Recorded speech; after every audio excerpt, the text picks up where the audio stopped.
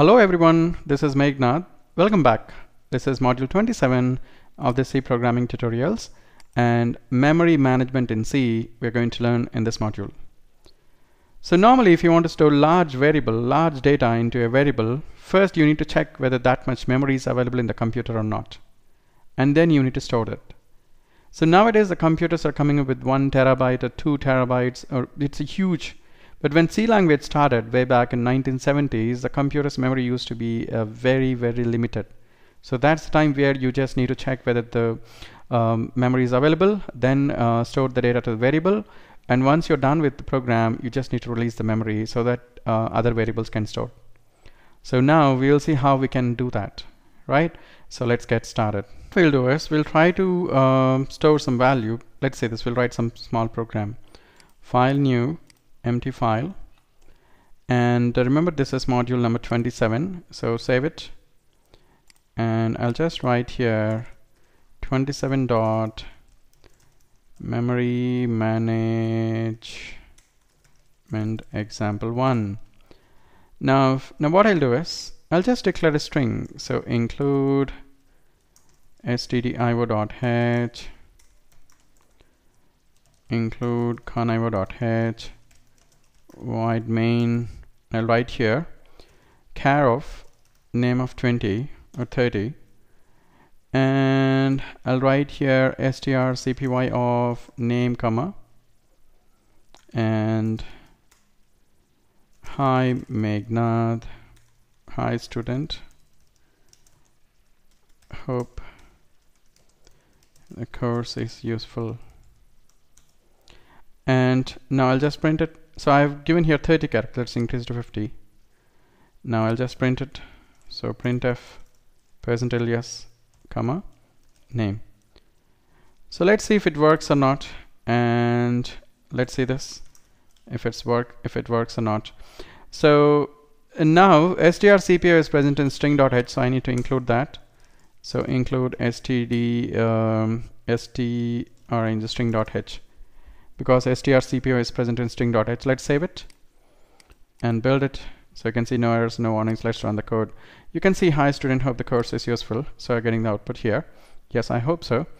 And now, now I can also declare this in a different way. So let's say I want to store around 10 lines. I want to store this course is useful and you're practicing it and you are referring your friends. Like this you want to store some large data in this in this string. So nowadays the computers are coming up with a huge memory so you don't really need to check if memory is available or not. So what you need to do is in in um, 1970s or 90 first you need to check whether com your computer is having this much this much memory or not.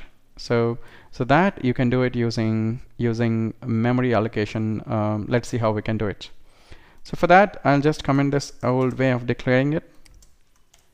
Now there is a new way to declare is char of star name. Now when I declare it like this, so this will point to the starting address. This name will point to the starting address of this large string, right? So first I need to check if this memory is available or not, this much memory. So how can I check is name is equal to malloc malloc and I want to store let's take around 200 characters 200 star and uh, size of char so I'm just checking uh, uh, 200 character size is available or not. If it's available this will return the address starting address and it'll allocate this memory so that I can use it. Right? So memory allocation malloc is a function that's present in stdlib so include stdlib.h and it'll allocate 200 bytes of memory. And it'll return the address of the first address. It'll, it'll return the memory location of the first bit. And this if this memory is not available if 200 into size of char that's 200 bytes is not available this will return null. So we need to check if name is equal to null. That means the memory is not available. I need to write here printf. Memory is not available. Else else I'm copying the string and printing it so let's see whether memory is available or not. So this is how we can allocate memory using malloc function. This much size we can allocate it and it will return the address the pointer uh, the first address.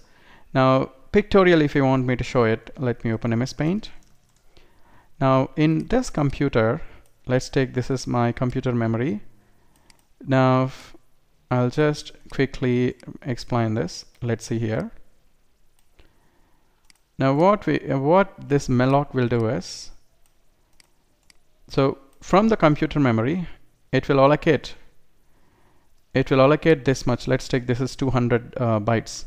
So let's assume that this is 200 bytes. The first address of this 200 bytes it will reserve this 200 bytes for this program. And the first address of this first one let's take 1001 will be returned to the name. And so that we can use the 200 memory 200 bytes uh, starting from this address.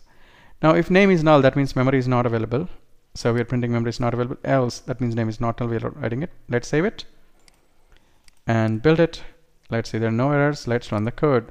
You can see how hi student hope the course is useful. You're practicing it and you're referring your friends to join this course. I hope so.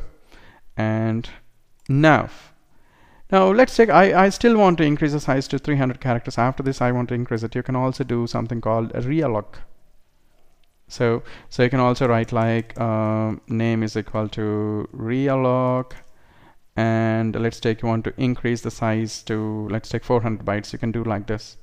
400 star size of char. In this case what happens is if it it will check whether uh, whether the memory 400 bytes is available or not. If it's available it will return um, it will return uh, the initial address else it will return null right? So realloc is used to increase the memory location for already assigned value and you can check if you can allocate additional memory. And once you're done with the program you need to free up the memory. So what you can do is you can just write free name. So once you allocate once you write free name that will actually remove um, this data that will remove from the memory so that you can use that memory for other variables right? So in this module we learned about malloc which will allocate the memory. In case if you want to increase allocated memory you can use realloc and in case and if you want to remove um, uh, the data from the memory you have to use free. And remember these methods are present in stdlib standard library.h and why do we need this memory management techniques? Because uh, when C language started computer memory used to be very very limited. But now you don't really need this. You can happily write code without without requiring these um, functions. But still if you're writing to a miniature computer or if you're writing C programs for small um, hardware you just you definitely need to check if it's available or not right? So in this module we learned about different memory management techniques that are available in C language. And in the next module we will learn about structures and unions. So we completed with this module and as usual if you want to get the code snippet that I've used in this um, in this module you can actually download it from uh, you can actually get it from this link. So I'll be uploading it. You can actually get it. So let me um, I'll just upload it now. Let me click on upload files and select the files that I need to upload and go to go to D drive my programs and I can just add um, memory allocation in the example. And I can also add maybe pointer examples which I have not added. Right so you can see here it's getting uploaded. So in case if you want to get these uh, examples uh, code snippets that I have uploaded in case if you want to get it all you have to do is you need to go to this URL https colon slash slash github.com slash makenat slash c to download uh, to download the files that I've used for this illustration. Okay, so that's all for now. In the next module, so in the next module, we learn about structures in C language. Okay, that's all for now.